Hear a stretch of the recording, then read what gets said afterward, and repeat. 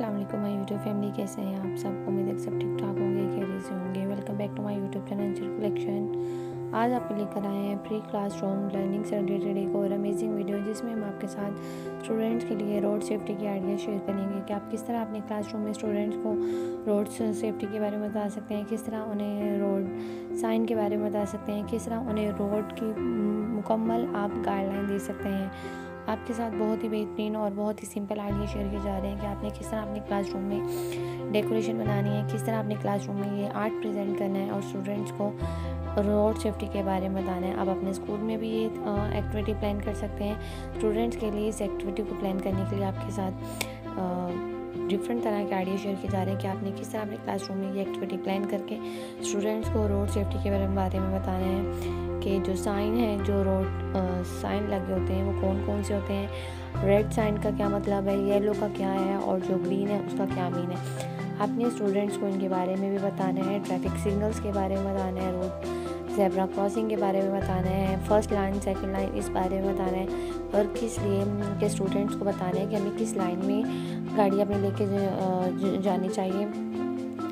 आप स्टूडेंट्स को road safety के बारे में बताने के लिए अपनी क्लास में डिफरेंट तरह की डेकोरेशन बना सकते हैं। लाइक वन और जो के जी क्लास के प्री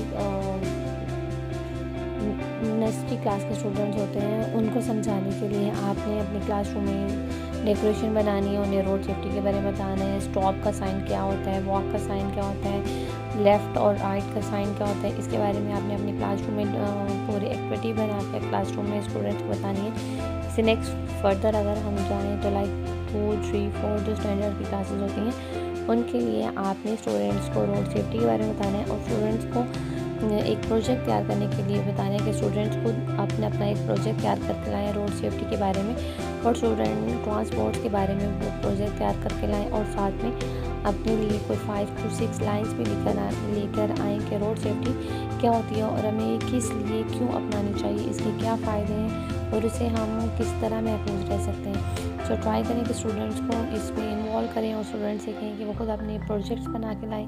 अब अपनी क्लासरूम में भी ये प्रोजेक्ट दिखा सकते हैं। अपनी क्लासरूम में इसको रैपर करके अपनी क्लासरूम में भी लगा सकते हैं। जिस जिस स्टूडेंट का बेहतर होगा, उन्हें क्लासरूम में इनाम भी दिया जाएगा और क्लासरूम में उसे लगाया भी जाएगा। तरह स्टूडेंट्स में रोड सेफ्टी को पढ़ने के लिए इस रोड को जाने के लिए और जुनून पैदा होगा और वो इस लर्निंग की तरफ़ आएँगे। सो ट्राई करें कि स्टूडेंट्स में इस तरह की मोटिवेटेड आइडिया पैदा करें कि वो खुद अपना प्रोजेक्ट तैयार करें और ख़ुद बताएँ कि वॉक का साइन क्या है स्टॉप का साइन क्या है और सिग्नल्स की क्या मैनी होती हैं जेबरा क्रॉसिंग क्यों होती है? इस तरह की जो रोड के बारे में है नॉलेज अब अपनी क्लासरूम में भी देंगे और स्टूडेंट्स से कहेंगे वो खुद भी प्रोजेक्ट तैयार करके लाएँ। आप क्लासरूम में इस तरह का कोई भी डेमो तैयार कर सकते हैं क्लासरूम में कोई भी इस तरह के कोई भी प्रोजेक्ट या कोई भी एक एक्टिविटी प्लान की जा सकती है, जिसमें तमाम स्टूडेंट्स पार्टिसिपेट करें और इजीली वन बाय वन अपना अपना बताएँ कि ये सेफ्टी ये साइन इसलिए है और ये हम इस तरह कर सकते हैं।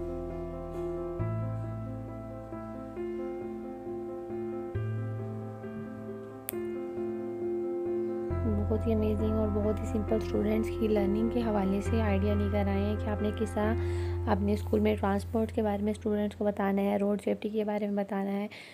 ताकि वो जाने और रो, रो इस तरह की जो हमारे रोड पे जाने वाले नॉलेज है वो स्टूडेंट्स को पता हो और स्टूडेंट्स खुद अपनाएँ। इन इस तरह के और डिफरेंट अमेजिंग वीडियोस के साथ फिर हाजिर होंगे। तब तक अपना ख्याल रखिएगा। तो हमें याद रखिएगा वीडियो को लाइक करें चैनल को सब्सक्राइब करें। अल्लाह हाफिज़।